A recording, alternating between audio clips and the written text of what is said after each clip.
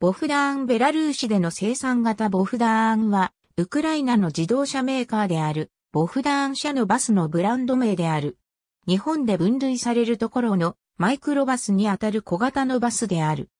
ウクライナへの進出を模索していたイスズ自動車グループとの提携により、ボフダーン社はイスズ製のエルフのプラットフォームを利用して小型バスボフダーンを開発、生産を行った。ボフダンの販売は1999年に始められた。生産は関連企業のチェルカースイバスで開始され、今後はルーツィク自動車工場での生産に移行する予定である。販売台数は初年度9台であったものが2003年度には1610台に達するという好調な成績を示し、2005年度には3123台が出荷された。さらに2006年度は3500台が見込まれている。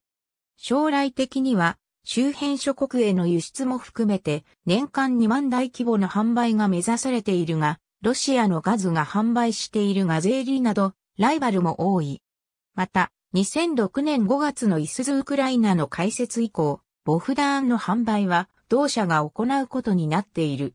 ボフダンの販売はウクライナ国内で行われており、主として路線バスやマルシュルート化で運用されている。鮮やかな黄色の塗装がなされていることが多い。車体が新しいこともあり、車内外ともに良い状態に保たれているものが多い。ありがとうございます。